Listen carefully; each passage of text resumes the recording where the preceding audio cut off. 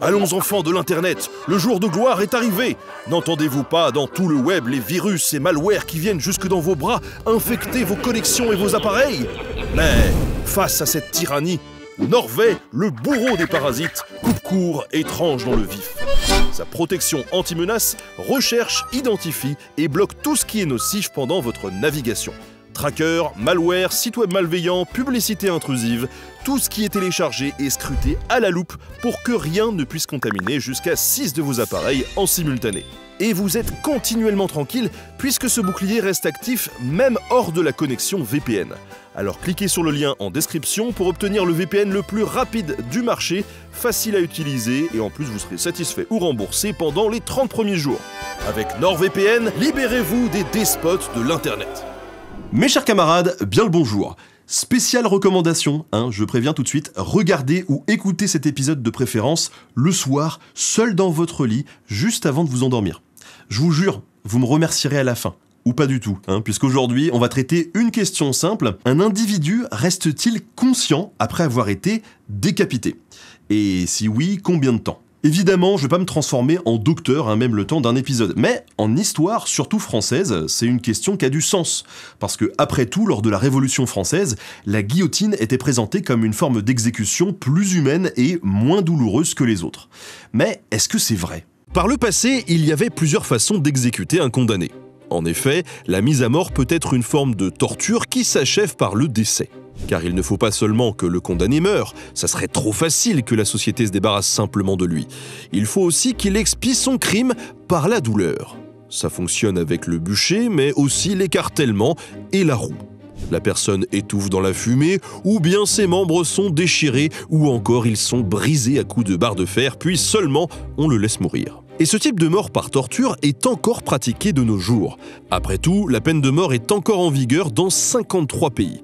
Aux États-Unis, on gaze et on électrocute, ce qui n'est pas indolore. Avec l'exécution par balle, la pendaison reste aussi une méthode largement acceptée, par exemple en Inde, au Botswana, au Cameroun, Gambie, Lesotho, Congo, etc. Le Soudan a recours à l'étranglement et la Somalie, l'Afghanistan, l'Arabie saoudite et les Émirats arabes unis à la lapidation, etc., etc. Vous avez compris l'idée, il n'y a pas une seule géographie ni une seule époque qui pratique la peine de mort. Et d'ailleurs, même quand on remonte à notre Moyen Âge, il y avait bien des pratiques de torture, mais aussi des morts propres où on cherchait seulement à tuer sans faire souffrir. C'est le cas par exemple avec la décapitation où on tranche la tête instantanément ou encore avec la pendaison. Oui, elle peut se faire par étranglement, à des fins de torture, mais si on ne se rate pas avec une longueur de corde et une hauteur de chute suffisante, la personne est pendue haut et court. Sa nuque se brise sur le coup. Mais bon, euh, même avec la décapitation et la pendaison perçues comme des moyens propres de mourir, il y a des limites. Pour commencer, la pendaison est une mise à mort dégradante. Le cadavre est exposé parfois longtemps afin de servir de leçon. Il peut se décomposer à la vue de tous pendant des jours, des semaines, voire des mois. En plus, on peut très bien se rater avec un mourant qui se balance au bout d'une corde, parfois animé de spasmes réflexes. Et c'est pareil pour la décapitation, c'est plus noble, le corps n'est pas présenté de façon humiliante, mais là encore, des ratés sont possibles. À l'arme blanche, comme une hache ou une épée, la décapitation peut être très sale, longue et atrocement douloureuse. On parle quand même de tailler dans un corps de chair crue tout en os, muscles et tendons, à l'aide d'une arme lourde, parfois pas très maniable, et dont le fil s'use avec les utilisations. Sans compter que la cible peut bouger, se débattre, hurler. Enfin, essayez pour voir, hein, c'est pas facile. Sur les conseils de mon avocat, je vous précise que je retire la phrase essayez pour voir. Hein. Voilà. N'empêche, si la plupart du temps le bourreau c'est un pro et que tout se passe bien, on a quand même des ratés assez célèbres. Pour Mary Stuart, reine d'Écosse mise à mort en 1587, le bourreau était manifestement ivre. Il a fallu trois coups de hache pour décoller la tête. Et quand il a voulu la présenter à la foule, il l'a prise par la perruque. La tête a donc roulé au sol. Ça, c'est direct dans le bêtisier. Hein. En 1685, c'est au tour de James Scott, duc de Monmouth, de perdre la tête. Le premier coup le blesse, et le duc, furieux, qui pisse le sang, se redresse et jette un regard noir droit dans les yeux du bourreau. Ce dernier frappe encore deux fois, et dégoûté, et le shérif doit l'engueuler pour qu'il accepte finalement de redonner un, puis deux coups pour finalement finir par détacher la tête au couteau. Idem en 1766, en France cette fois, avec Thomas de Lally Tolandal, qui a la tête tranchée à l'épée sur la place de la Grève à Paris. Cette fois, le jeune bourreau se loupe tellement qu'il passe à côté du cou, cassant la mâchoire et plusieurs dents de la victime. Il retente, mais c'est un tel désastre que son père, bourreau lui-même, doit finir le boulot au couteau. Et faut pas croire que la foule adore ce genre de spectacle. Hein. D'ailleurs, toutes ces erreurs font assez scandale. On attend du bourreau que ça soit un exécuteur d'excellence. Les plus riches condamnés le payent pour qu'il affûte bien sa lame, parce qu'ils veulent partir avec dignité. Certains petits malins ont même l'idée de concevoir des machines à tuer. Ces tranches-têtes sont en usage dès le Moyen Âge, donc bien avant la guillotine. Il y a par exemple la dielle allemande. Le condamné pose sa tête sur le billot et on positionne une grosse lame plate tenue des deux côtés par des montants rainurés. Le tranchant est tout contre sa nuque, le bourreau ne peut donc pas se rater, il n'y a plus qu'à frapper la lame avec une grosse masse. En Angleterre, le gibet d'Halifax, construit par le seigneur local, a fonctionné de 1541 à 1685 pour une cinquantaine d'exécutions. C'est le même principe qu'une grande lame dans deux montants, sauf qu'ils font 4,50 m de haut et on compte sur la gravité pour faire le travail. En Écosse, Mary Stewart institue en 1564 l'usage de machines qu'on appelle les maidens, les pucelles ou les demoiselles. La pucelle d'Édimbourg, par exemple, a coupé quelques 150 têtes. Et là, on se rapproche franchement de la guillotine. Tout le quadrillet, le bourreau n'a qu'à tirer sur une corde pour que la lame, lestée de 35 kg, tombe lourdement, emportant la tête au passage. Petite astuce, si le condamné est un voleur de chevaux, ça n'est pas le bourreau qui tire la corde, mais un cheval. Et enfin, l'Italie du XVIe siècle a sa célèbre manaya, qui a exactement le même principe, sauf que la lame a la forme d'un doloir, qui est une gigantesque hache recourbée. Cet usage s'est répandu un peu partout puisqu'on retrouve l'équivalent d'une manaya à Toulouse en 1632. Au XVIIIe siècle, l'abbé Jean-Baptiste Labat, voyageant en Italie, trouve que c'est un progrès. Car ainsi, le condamné n'a pas à attendre ni souffrir et l'erreur humaine du bourreau est évacuée. On a rationalisé la mise à mort. Donc vous pouvez un peu oublier le cliché des Lumières qui sont à l'origine de la guillotine. Hein. En fait, ça faisait déjà bien longtemps qu'on cherchait à appliquer les peines de mort, mais sans faire souffrir. N'empêche que la Révolution française reste une période assez clé pour la guillotine. Le 1er décembre 1789, le député du tiers-État Joseph Ignace Guillotin demande à ce que l'on change le code pénal.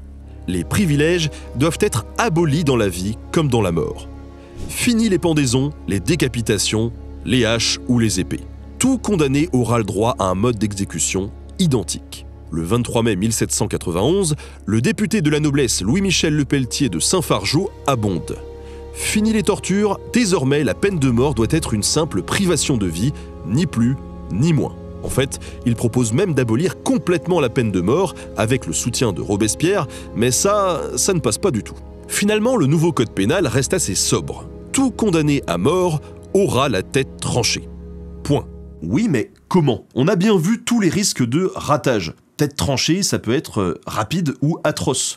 Pour que les citoyens restent égaux, il faut une exécution à la fois immanquable et immédiate. Guillotin suggère une décapitation par une machine simple, en s'inspirant des pucelles écossaises. Avec le docteur Antoine Louis, ils optent pour un mécanisme qui remplacerait toute intervention humaine. C'est pourquoi les premières guillotines sont appelées des Louisettes. Le fabricant de clavecins allemand, Tobias Schmidt, se charge de construire un prototype avec l'aide du bourreau Charles-Henri Sanson. Plutôt que la courbe d'une hache, ils choisissent une lame taillée en biseau. Au final, on ne coupe pas vraiment la tête par le haut, on la tranche plutôt par le côté, mais de façon très rapide. C'est bien plus efficace, et la légende raconte que Louis XVI a salué l'ingéniosité de ce prototype. Modèle de rapidité, de facilité et surtout d'égalité des citoyens face à la mort, la machine est adoptée en 1792. Elle a alors plusieurs surnoms, la Louisette, mais aussi la veuve, le rasoir national, et une fois le roi capétien décapité, on l'appelle parfois la cravate à capet. Mais finalement, à cause des chansonniers, c'est le terme guillotine qui va rester. Allez savoir pourquoi. En tout cas, elle est utilisée pour la première fois le 25 avril 1792. Sa première victime s'appelle Nicolas-Jacques Pelletier. C'est un truand récidiviste qui, lors d'un vol à l'arraché, a poignardé un innocent dans la rue en plein jour. On organise minutieusement son exécution et sur la place de grève, une foule considérable s'amasse, curieuse. On va enfin voir marcher la petite Louisette. Et là, c'est une catastrophe, car l'impensable a lieu. L'impensable, c'est que tout se passe comme prévu. Tout a eu lieu en un instant, sans un bruit, la tête tombe. Énorme déception dans la foule. En fait, les mises à mort, c'est devenu hyper ringard, hein, circuler, y a rien à voir. La foule râle et chante son mécontentement. Et elle ne sait pas encore qu'elle va arriver à saturation très bientôt. En effet, du printemps 1793 à l'été 1794, éclate la terreur. On en parle dans le double épisode sur la Révolution française que vous pouvez aller voir sur la chaîne. Il suffit de savoir que durant ces quelques mois, des milliers de guillotinés vont se succéder. Le chiffre dépasse sans doute les 10 000 victimes, mais nombre d'historiens pensent que le chiffre exact est pour ainsi dire impossible à déterminer. C'est un peu le paradoxe de la guillotine. Avec un moyen soi-disant plus humain de tuer, on finit en fait par basculer dans la monstruosité puisque la mort semble indolore, puisqu'elle passe si rapidement, les gens n'impriment pas vraiment ce qui se passe. Avec le progrès de la guillotine, le juge ne craint pas de condamner à mort. Si on en était resté à des machines plus anciennes et défaillantes, peut-être que la foule aurait fini par se rebeller contre tant de sang et d'horreur, et les magistrats se seraient montrés peut-être plus modérés. Et on en arrive enfin à notre question. La guillotine, c'est rapide, mais est-ce que pour autant c'est sans douleur? Est-ce que la mort est immédiate ou est-ce qu'il est possible de rester conscient quelques instants après avoir perdu la tête? En fait, ce débat débute dès 1795. Dans le journal Le Moniteur, le médecin allemand Samuel Sommering dénonce l'atrocité de la guillotine. Selon lui, le supplicié reste sans doute conscient après le passage de la lame. En effet, le cerveau n'est-il pas le siège de la perception et de la conscience? Il doit survivre sans doute quelques instants après la coupure. Le guillotiné ressent donc la douleur, mais en plus, il a conscience que sa tête est détachée et qu'il est en train de mourir. Imaginez qu'ensuite on vous prenne par les cheveux et que votre dernière vision soit celle de la foule qui vous regarde, vous, sans votre corps, ça fait un peu peur. Sommering cite des exemples de têtes qui auraient réagi à leur environnement. Sur un échantillon de plusieurs milliers de cas, on a en effet pu en voir certaines cligner des yeux, changer d'expression, voire remuer les lèvres comme pour parler. L'exemple le plus célèbre reste celui de Charlotte Corday, condamnée en 1793 pour avoir tué Marat. Après son exécution, un fanatique se précipite, saisit la tête et la gifle. Plusieurs témoins constatent alors que ses joues rougissent. De honte peut-être? En tout cas, les gens de l'époque en sont convaincus. Il y a même un homme qui décide de faire l'expérience. Ouais, carrément. Il s'agit d'Antoine Lavoisier, le célèbre chimiste exécuté en 1794. Sachant qu'il est condamné, il reste scientifique jusqu'au bout. Pourquoi ne pas profiter de sa mort pour faire progresser la connaissance humaine? Il promet donc de cligner des yeux quand on lui aura coupé la tête. Son assistant observe et prend note scrupuleusement. Pendant 15 secondes après son décollement, la tête de Lavoisier n'a pas cessé de battre des paupières. Évidemment, tous ces exemples renforcent la théorie de la décapitation lucide. À gauche comme à droite, on commence à se demander si la guillotine est si humaine que ça en fin de compte. Sommering craque un peu, n'hésitant pas à affirmer que la tête pourrait rester en vie jusqu'à 15 minutes après le coup de lame. Il condamne alors la France, qu'il somme de revenir à des pratiques moins barbares et qui ont fait leurs preuves, comme la pendaison. Le docteur Jean-Joseph Su le soutient dans ses conclusions. Pour ça, il réalise de nombreuses expériences sur des animaux et constate des mouvements sur leur tête tranchée. Il en conclut que la tête souffre atrocement, peu importe la durée. Mais d'autres médecins répondent, comme George Wetkin. La décapitation entraîne à la fois la compression du cerveau et une grande hémorragie. Or, ces deux facteurs font automatiquement perdre connaissance. Donc les convulsions du visage ne prouveraient rien. Ce sont des réactions mécaniques que les témoins ont exagérées et interprétées comme des grimaces. Le docteur Le Pelletier, un médecin qui a justement son bureau sur la place de grève, ajoute que la décapitation coupe d'un coup l'alimentation sanguine, la respiration et la circulation nerveuse, et ne peut donc que provoquer une mort instantanée. Ah oui, petite précision, hein. Tout le débat scientifique de ces grands messieurs n'a rien à voir avec leurs opinions personnelles. Certains docteurs soutiennent mordicus que la guillotine est indolore, tout en s'exprimant contre la peine de mort en général. C'est le cas assez original du docteur Gastelier. Condamné à mort, il attend son exécution et passe le temps en écrivant des articles pour réfuter Sommering et réaffirmer que la guillotine, c'est drôlement bien pensé quand même. Coup de bol pour lui, la chute de Robespierre annule son exécution et il s'en sort indemne. Quant au physiologiste Pierre-Jean-Georges Cabanis, il rappelle que le coup du lapin entraîne déjà une perte de conscience immédiate, alors une décapitation, hein, pensez-vous, mais ça ne l'empêche pas de réclamer l'abolition de la peine de mort et de la guillotine avec elle. Et ce débat va en fait se prolonger tout au long du 19e siècle. En fait, la plupart des scientifiques se rangent à l'idée d'une mort immédiate. Mais régulièrement, tel ou tel nouveau témoignage vient semer le doute. Le pire témoignage est sans doute celui du docteur Borieux. Le 28 juin 1905, à Orléans, il assiste à l'exécution d'Henri Languille. Vite, il prend sa tête et pendant 5 à 6 secondes, il observe des mouvements de lèvres et de paupières. Puis, il prononce le nom du supplicié et aussitôt, ce dernier ouvre les paupières d'un mouvement bien régulier et symétrique qui n'a rien d'un spasme. Mieux, ses yeux se tournent vers lui et le fixent d'une façon lucide et intelligente. Les pupilles se focalisent même, c'est-à-dire qu'elles se rétrécissent pour mieux le dévisager. Tout ce petit manège dure près de 30 secondes jusqu'à ce qu'enfin l'anguille prenne un œil de poisson mort. Mais retournement de situation en 1939, quand le Journal of American Medical Association cite d'autres témoins présents ce jour-là. Ils indiquent plutôt des mouvements moins significatifs et qui ne dépassent pas les 10 secondes. Bourrieux s'est peut-être un peu fait mousser. Et aujourd'hui, alors entre le choc, l'hémorragie et la perte d'oxygénation, on estime que la mort est très rapide, voire instantanée. Pour le corps, il faut compter jusqu'à une minute avant l'arrêt complet du cœur, et il y a également des mouvements mécaniques. Pour la tête, elle peut disposer de suffisamment d'oxygène pour rester en vie jusqu'à 7 secondes, grand maximum. Alors en vie, oui, mais consciente, c'est plus dur à dire. Privé d'oxygène, le cortex moteur et sensoriel s'éteint en premier. On aurait alors une sensation d'incorporalité, de flotter hors de son corps. Les gens qui disent avoir vécu une EMI, une expérience de mort imminente, rapportent souvent ce phénomène. Puis le cerveau s'éteint un compartiment après l'autre. Le tout dernier à survivre est sans doute le cortex mémoriel, ce qui pourrait donner l'impression de revoir sa vie défiler. Encore une fois, ça colle avec les récits d'EMI. Sauf qu'on n'est pas dans une EMI tranquille à l'hôpital, hein. avec le traumatisme insupportable de la décapitation, logiquement, toute forme de conscience disparaît quasi immédiatement.